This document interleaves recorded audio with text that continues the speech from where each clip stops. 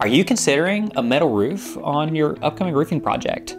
Are you unsure if a metal roof is really worth the cost?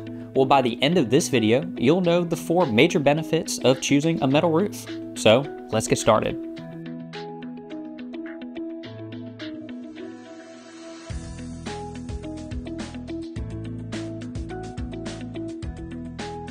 If you choose a metal roof, you can expect to have a longer roof life than many other types of roof systems.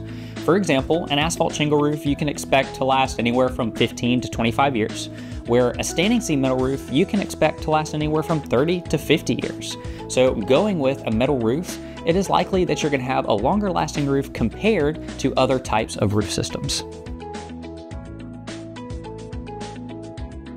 Depending on which type of metal roof you go with, low maintenance may be a benefit that you will reap from choosing a metal roof.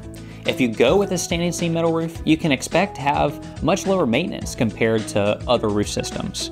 When it comes to an exposed fastener metal roof, which is a different type of metal roof, your maintenance is going to be a little bit higher, but that standing seam metal roof, if you decide to go with it, will reduce your maintenance cost overall.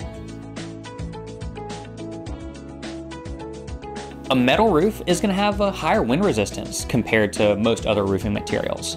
A metal roof is going to be generally screwed to your roof deck, where most other roof systems are nailed. Using screws to attach the roof system to the roof deck is, in most scenarios, going to increase the wind resistance.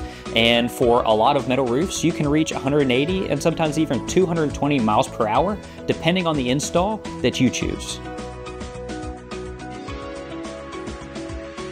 The look of a metal roof is something that's special, especially to our coastal environment.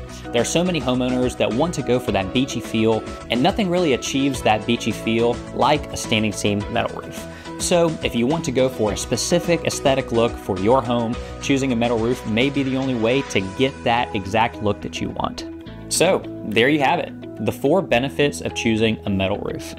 And if you're in the market for a metal roof, you may be also wondering, what are the downsides of choosing a metal roof?